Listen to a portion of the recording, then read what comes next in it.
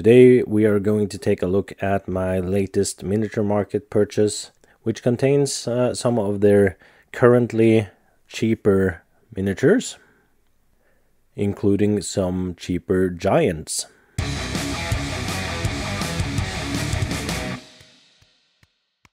Hello and welcome to the Creative Kobold. I am Gaira and uh, just a uh, quick note as of uh, this recording, I still have the uh, coronavirus, so if my voice sounds a bit weird, that is why, and I apologize. From time to time, I like to uh, scour miniature market and other sites uh, to find what miniatures are on the are currently on the cheaper end of the scale.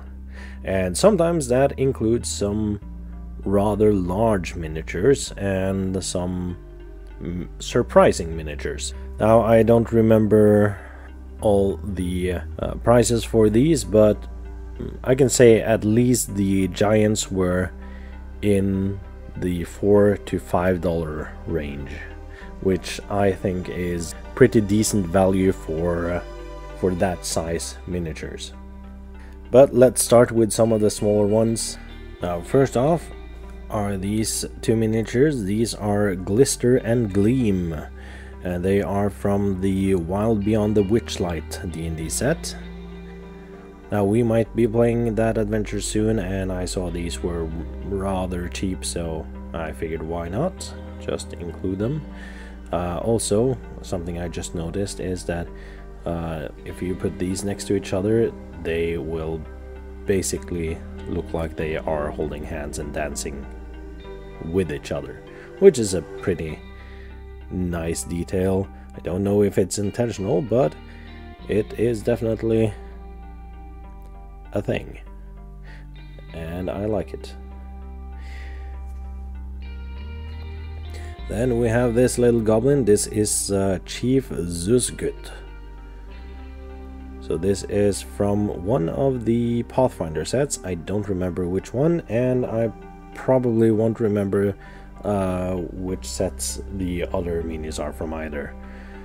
However, this character is also um, on the throne in the Goblin Village set. So I figured if I have a standing version of him, uh, he, he'll be more useful in adventures and such.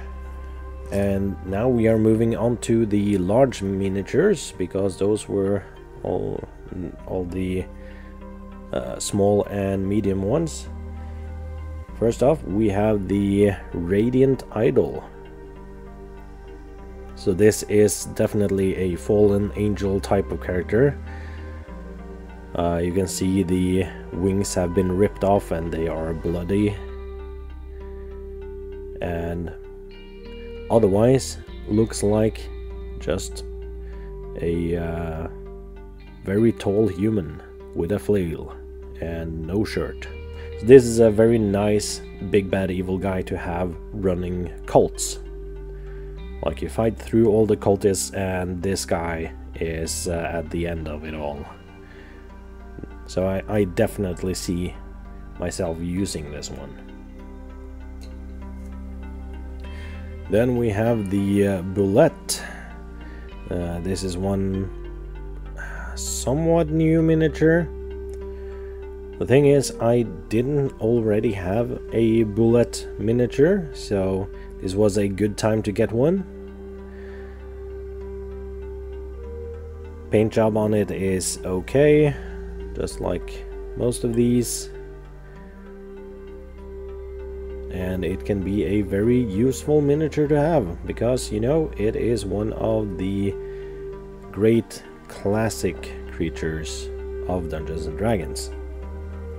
No matter which edition you play, there's always gonna be bulettes. Now next up is the uh, Hippogriff. Comes with the base and uh, the flying peg um, there it is not assembled, but it is a decent sized mini. It has the back body of a horse and the front body of an eagle. classic uh, mythological creature. I think it was like two dollars, two and a half dollars, something like that. Figured might as well uh, grab one.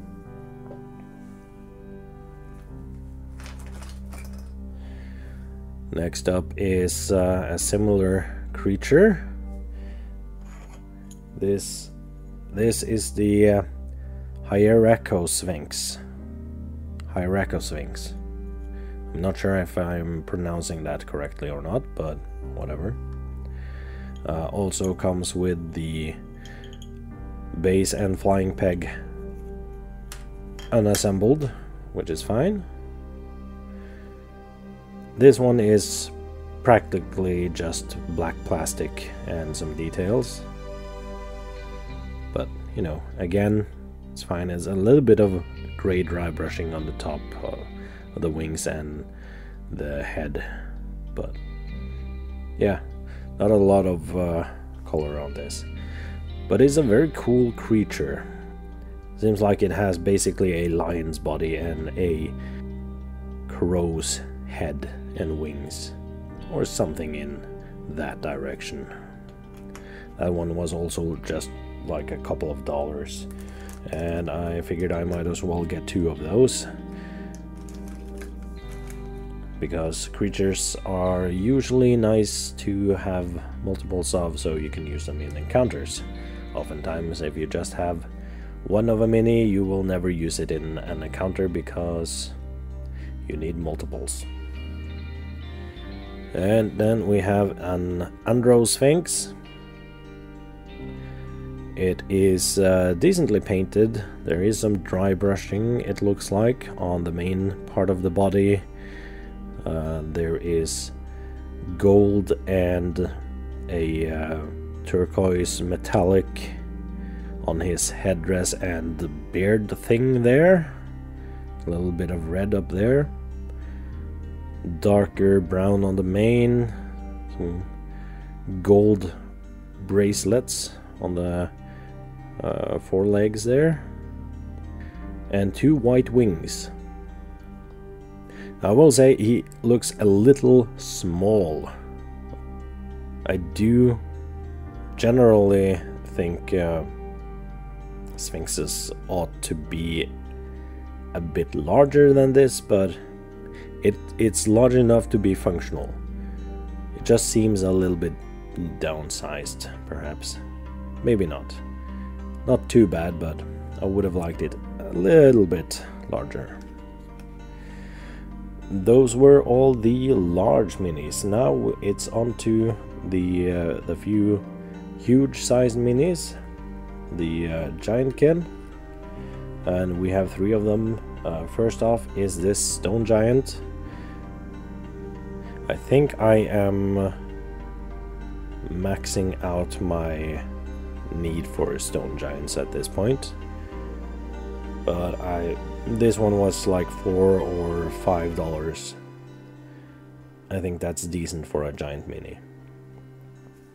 And he's uh, carrying this club made from a stalactite or stalagmite, which is pretty cool though I would have liked it if it if it was uh, more gray than brown. But you know, maybe I'll repaint it. Who knows? Either way, decent looking uh, stone giant. Another one for the collection. And finally, there are two different Fomorians. Now, it's interesting that they seem to always have the same eye big. I think that goes for some other um, other Fomorian min minis as well. Most other that it is the left eye is big and the right eye is small but don't take my word for it, I might be wrong. Either way, uh, decent, decent uh, Fomorian minis. I do have one Fomorian Minis from the old DDM line. I would like these to have more of the same skin color though, so I might just do a quick white or off-white dry brush to make them look the same. But otherwise, these will fit well in with that other guy. And now I have a larger chance of using Fomorians in my game since I only had the one from earlier. So that's it. It's not a huge haul, but it is uh, definitely something. Since I live in Norway, I have to order minis under the under $35 uh, total including shipping or else I will be smacked with uh, import fees which is not so great especially not for smaller orders. So but if I keep myself under that amount I will uh, not be smacked with those fees and that means sometimes I uh, have to do multiple orders uh, even though I'll pay shipping multiple times. But in the end, I avoid those uh, taxes, which would have been more costly. But for the minis that I got, I am happy with uh, what I paid. I highly suggest you check out uh, Miniature Market and other sites like Noble Knight uh, Games and um, whatever other shops are out there. See what miniatures they have on the lower end of the price scale because sometimes it's a lot of miniatures that are very functional, very useful for your games. Anyway, with all that said, I hope you enjoyed this video. Like, comment, subscribe, all that good stuff. And I'll see you in the next one.